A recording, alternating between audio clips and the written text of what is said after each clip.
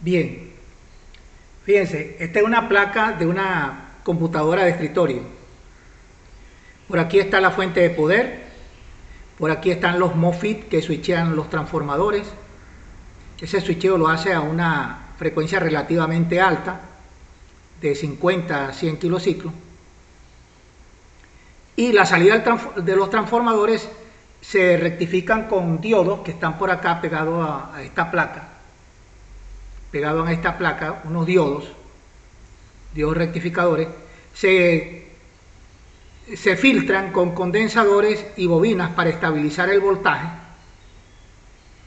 Y luego que para regular el voltaje se utilizan integrados mediante octoacopladores, llevan la señal a la parte caliente, a la parte hot, porque esta es la parte hot y esta es la parte cold, la parte fría. Vamos a verlo por acá.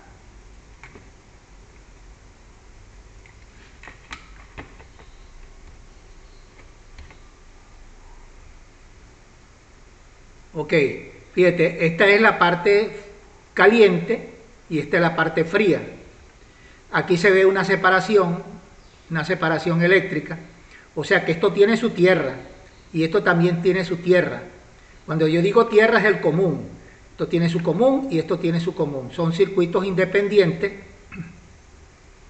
pero están unidos por, por luz, por octoacopladores, que hacen la regulación del voltaje.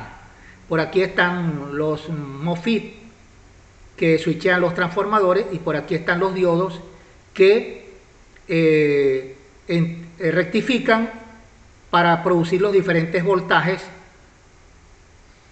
según la salida de los transformadores. Eh, los diferentes voltajes que generalmente son 12 voltios, 5 voltios, etc. Ahora, ¿qué es lo que se daña en estas placas? Bueno, se dañan los MOFIT, se daña la parte de la fuente de poder, los condensadores electrolíticos, este, pero una de las fallas comunes es